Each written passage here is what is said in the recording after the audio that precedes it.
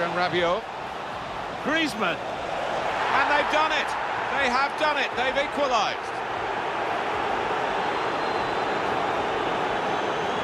France have made a chance, they've taken a chance, and we're all square again. Well, I think the way this game was panning out, you could...